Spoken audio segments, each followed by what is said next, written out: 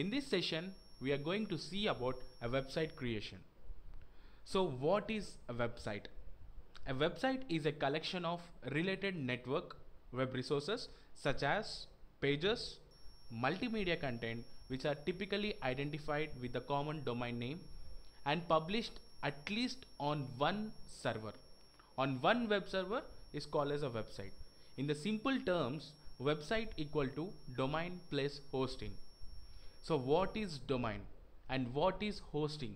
In coming next sessions, you can understand briefly about what is domain and what is hosting. So there are many functions can be used for creating a website. So either it could be a non-profitable organization, you can design a website or if you want to start any personal website, you can start a website or if you are starting any business, you can uh, create a website. So these are the major functions to create a website. So now websites can be of any individual, can be work on any individual or it could be a business or any organization. So we can design a website or either if your related interest is only on particular topic also we can design a website so the particular topic like if you want to start entertainment related website or if you want to start any information about health related or any technology related even we can design a website. So now there are different ways to create a website. So if you know coding you can design a website. Or if you don't know any coding languages also even we can design a website. So you if you know the codings like php net java html or jquery and other platforms you can design a website.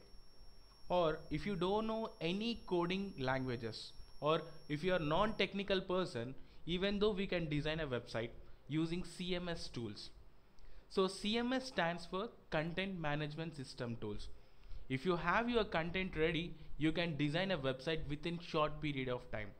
So the tools like CMS tools like WordPress, Joomla, Magento, Wix, Drupal and we have other CMS platform. So in this session, we have understood what is a website and different ways of website. In coming next sessions, we can know, learn about how to create a website using WordPress. So why only WordPress is because in it is a common CMS tool nowadays each and every business person or each and every individual is creating a website using a platform called WordPress. So in next session we will see what is domain, what is hosting and how to create a website we'll understand in a brief way. Thank you.